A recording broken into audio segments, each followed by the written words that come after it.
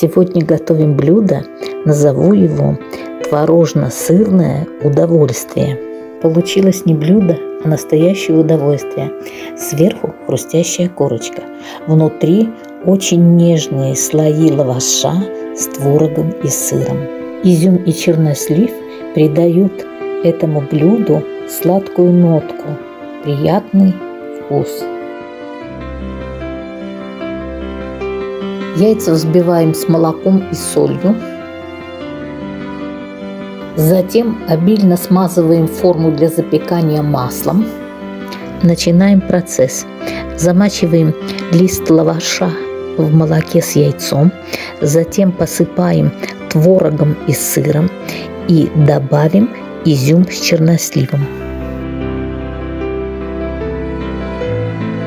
Второй слой аналогично лаваш, намоченный в молоке, творог и сыр, и наверх изюм с черносливом.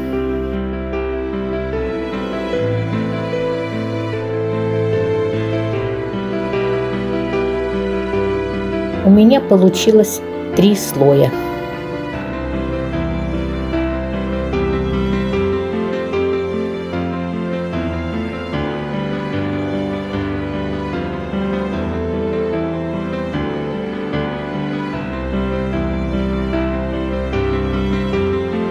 Сверху накрываю обрезками лаваша и еще целым листом.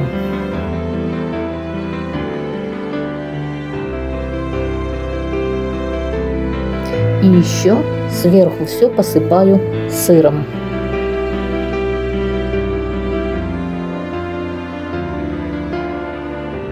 Сверху все поливаем оставшейся жидкостью, молоком с яйцом.